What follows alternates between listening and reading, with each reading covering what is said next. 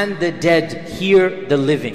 When we visit them at the qabr, when we say salam to them, can the dead hear and are they aware of the presence of those who are next to the qabr? Even the Sahaba disagreed amongst themselves. Realize that what we're talking about is the issue of the dead hearing in the vicinity of the qabr.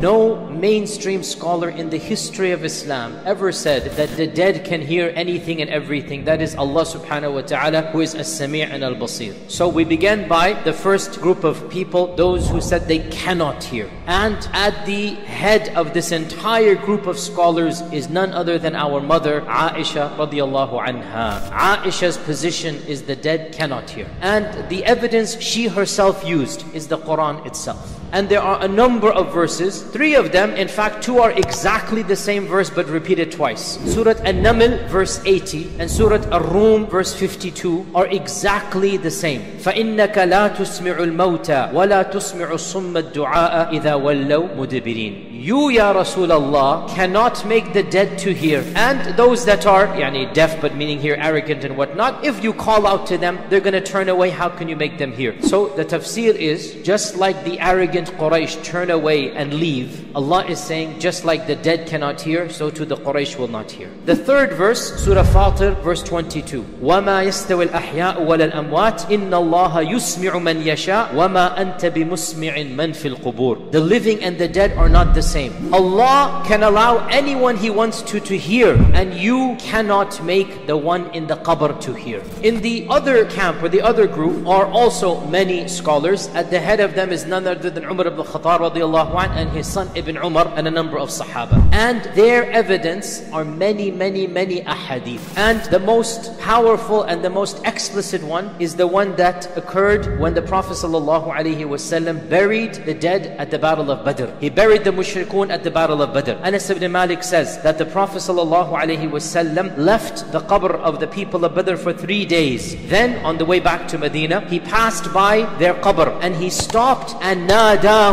He shouted out to them, Ya Aba Jahl ibn Hisham, Ya Umayyah ibn Khalaf, Ya Utbah ibn Rabi'ah, Ya Shayba ibn Rabi'ah. He mentioned the four sanadid, the four evil leaders of the Quraysh by name. Have you found the promise of Allah true? Because I have found the promise of Allah true. Umar said, Ya Rasulullah, how can they hear you? How can they respond to you when you're speaking to them? And they have been decayed, they're beginning to decay. And the Prophet ﷺ said, I swear by the one in whose hands is my soul. The Prophet ﷺ is giving qasam by Allah. You right now are no less able to hear me than they are able to hear me. You can hear me exactly the same as they can. The Prophet ﷺ is saying, I give you qasam. You are hearing me as well as the people in the qabr can hear, but they cannot respond back to me. This evidence is the primary evidence that Umar ibn Khattab and his son Ibn Umar used to say that the dead can hear. Of the evidences is the hadith in Sahih Bukhari. The Prophet ﷺ said, when the person is lowered in the grave, and the hadith goes on, then the phrase comes, when his companions go back and leave, the one in the qabr can hear the footsteps of his own companions as they leave. The one in the qabr can hear the footsteps of his ashab when they go back and leave the cemetery. A third evidence, the famous hadith of Aisha radiallahu anha, also in Bukhari and Muslim, that the Prophet sallallahu alaihi wasallam, Jibreel came and told him to go to the qabr the last week of his life. The famous incident when he left in the middle of the night and Aisha followed, wondering he might go into another house if you get my drift here, and she's jealous what is going on, and he rushes to Baqi' al-Gharqad. And Aisha overhears radiallahu anha, what is he saying? And he said the famous that we all know, Assalamu alaikum ya ahla qawmin min al-muslimin wal-mu'minin wa inna insha'Allah bikum lahiqun. Nas'alullah lana wa lakum al-afiyah. This is the dua that is said when you visit a qabr. Now how does this indicate that the dead can hear? The scholars say this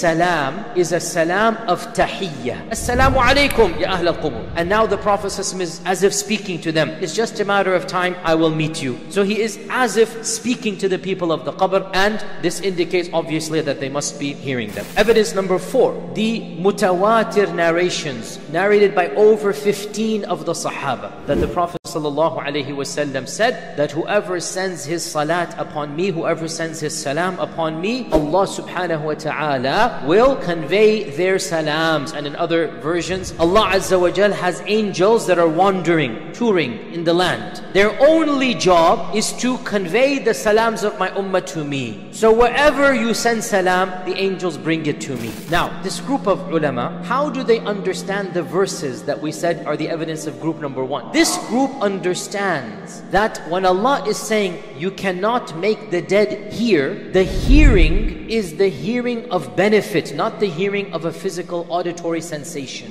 And the evidence is the context. Because when Allah calls the Quraysh summun, sum means deaf. They're not actually deaf to the voice. What are they deaf to? The message, the truth, acting upon it. They say the verses are very clear and the context indicates that what Allah is referencing is not the sama' of the ear, but the sama' of the qalb. How does group 1 interpret the evidences of group 2? They say all of these evidences that you have brought forth are exceptions to the general rule. And exceptions don't make a rule. The people of Badr, Allah Azza wa Jal made an exception for them to punish them. And the issue of the footsteps walking away, they say this is at the very instance when the ruh goes back into the body and munkar and nakir, and then after that it finishes. After that is gone. So they say this is a 15 20 minute exception basically. So these are in a nutshell two of the mainstream positions of Islam. Who held each position? So as for the position that the dead can hear, I believe it is fair to say that a slight majority or maybe even a large majority held this position.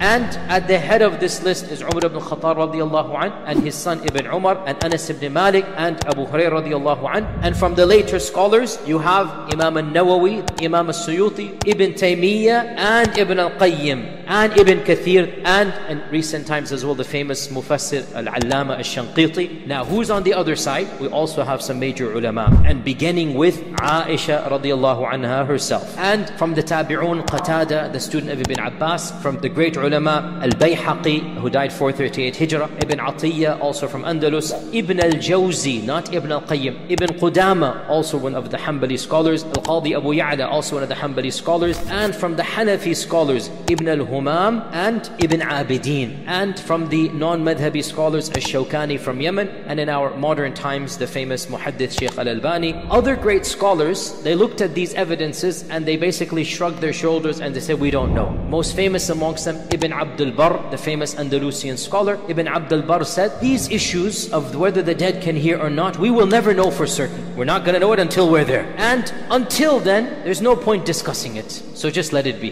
We also need to make a very important disclaimer. Whether the dead can hear or not, there is no action that is based upon this controversy.